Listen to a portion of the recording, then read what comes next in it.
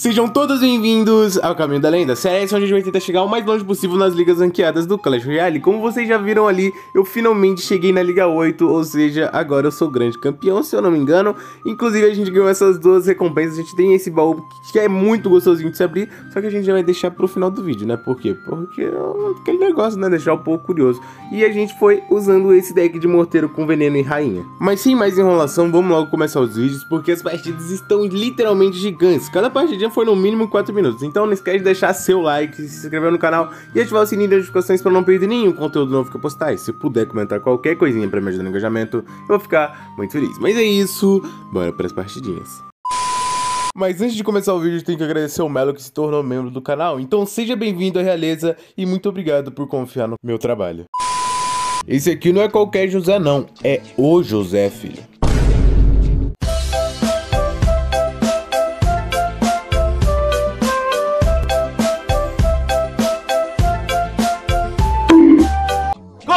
Ninguém?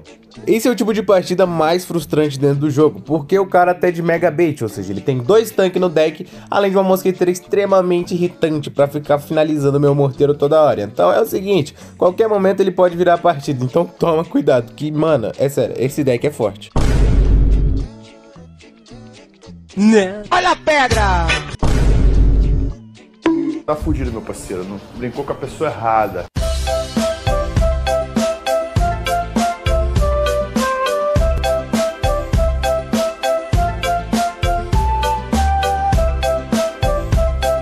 Meu nobre, essa partida aqui vai ser uma troquinha tão gostosa porque você não pode errar em momento nenhum, porque se você errar, você perde. Tanto que eu tenho uma dificuldade tão grande com esse barril de esqueletos que, meu Deus do céu, nunca sei o time pra acertar. Vai chegar uma hora que eu vou acabar errando e vou me lascar, é muito.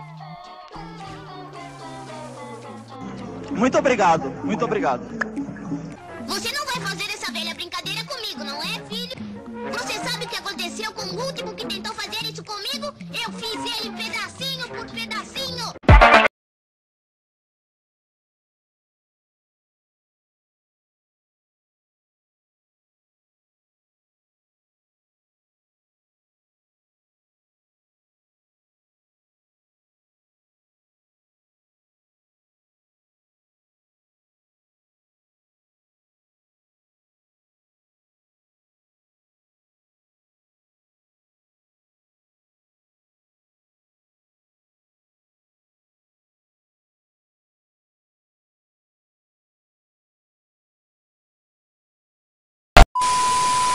Ué, Meu nobre, esse aí tá com medo de cemitério pra meter bandida e veneno no mesmo deck, tem que ser. Deve ser algum Blitz Spam que o cara simplesmente pensou, ah não, vou trocar a bola de fogo pelo veneno porque vai ser a mesma coisa. Não é, né? Mas tá bom.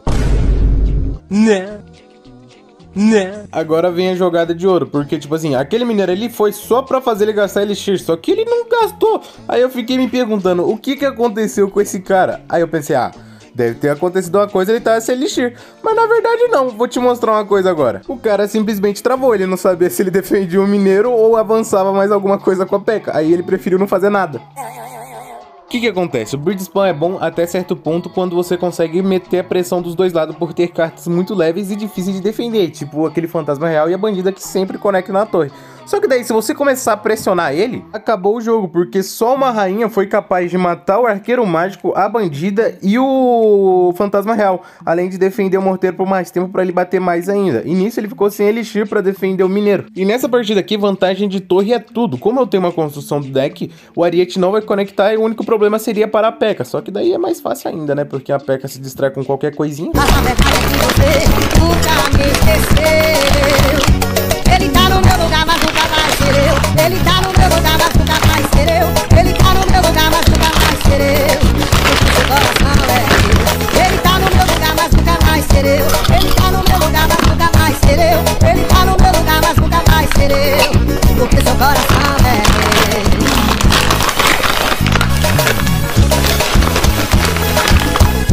O jogo dele acabou no momento que ele decidiu ficar usando a P.E.K.K.A na defesa. Não é bem assim que se joga de Blitzpawn. Na verdade, a P.E.K.K.A você aproveita ela na ponte com um contra-ataque do outro lado. E nisso o inimigo fica em dúvida em qual defender. E sempre algum vai chegar. Algum ou fantasma real, ou a bandido, ou até mesmo a P.E.K.K.A, dependendo da sua escolha de defesa.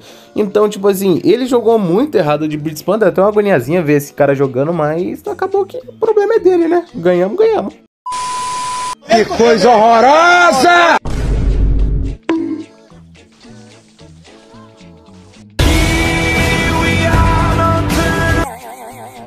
Ah, mó paz.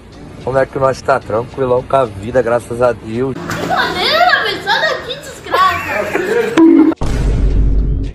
Então ele é? É. Vamos dar o fora daqui, Catherine. Este lugar me dá nojo. Olha a pedra! Ah, meu nobre, o cara usa Bárbaro de Elite, Pack e Gelo no mesmo deck, velho. Como que faz uma situação dessa? Não chora não, vagabunda.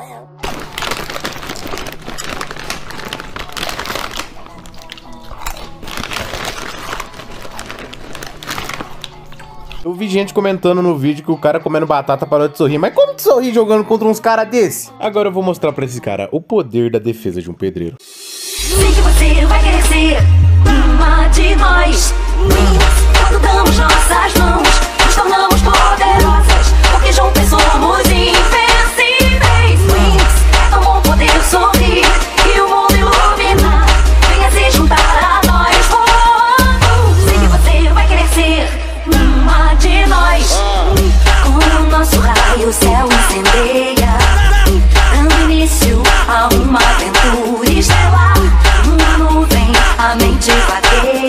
Olha, meu nobre, eu vou ter que confessar que eu achei muito fácil. Mas pera aí, meu nobre, quer dizer que você assistiu até aqui não curtiu e nem comentou qualquer coisinha? Ah, faz a boa aí, né?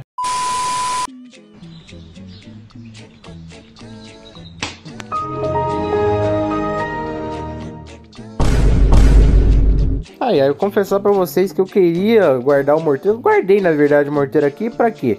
Pra mim fazer um contra-ataque e rebentar a torre desse cara. Porque, pô, ele começou todo ousado. Mas aí eu te pergunto, e dá certo fazer isso? Não, não deu certo, porque o cara simplesmente tem Cavaleiro Dourado e Morceguinho num deck de corredor. Então o que, que eu posso fazer? Sentar e chorar, né? Então, pois é, meu nobre, o raio não cai duas vezes no mesmo lugar. Não é porque eu errei uma vez que eu vou errar de novo. Então, o máximo que você conseguiu agora aqui é fazer eu ativar o modo sério mesmo. It's you, it's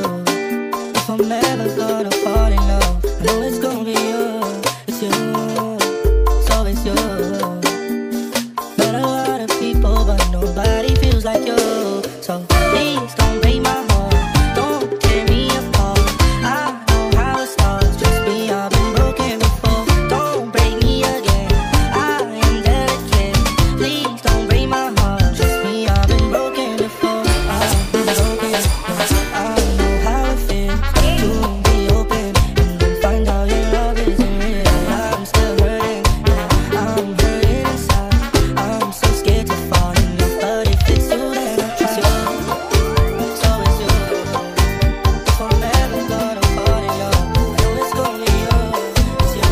Essa partida já foi complicada porque eu tive que tirar o prejuízo que eu tinha recebido no começo por besteira que eu tentei fazer ali com o morteiro. Mas de qualquer forma foi uma partida bem divertida, só que muito frenética. Mas é esse tipo de partida que dá gosto de jogar. Então bora logo abrir aquele baúzinho porque eu sei que vocês estão esperando. Enquanto eu abro o baú aqui, eu vou conversar um pouquinho com vocês. Basicamente, eu fiz a enquete ontem pra ver qual seria o jogo que eu traria pro canal. Se seria Clash of Clans ou Brawl Stars. E basicamente, Brawl Stars ganhou. E pelo que eu tava testando o jogo, sim, eu já baixei ele e tentei dar uma gravadinha. É um jogo bem frenético, com partidas bem rapidinhas e é muito divertido de verdade. Mas isso não significa que eu não vá trazer o Clash of Clans pro canal. Já que Clash of Clans é um jogo mais lento, que requer mais tempo de você, provavelmente eu vou trazer alguns vídeos dele aqui, principalmente durante... Semana que vem provavelmente eu já trago algum vídeo de Clash of Clans e de Brawl Stars, só que Clash of Clans é um pouquinho mais complicado, porque eu vou ter que ir gravando, vai ter que passar umas semaninhas ali pra upar os lugares lá, pelo que eu tava vendo. Então sim, vai ter Clash of Clans também no canal, só que vai demorar um pouquinho pra me trazer, porque basicamente os vídeos que dá pra gravar ali é quando o seu negócio já tá bem, mais bem upado mesmo.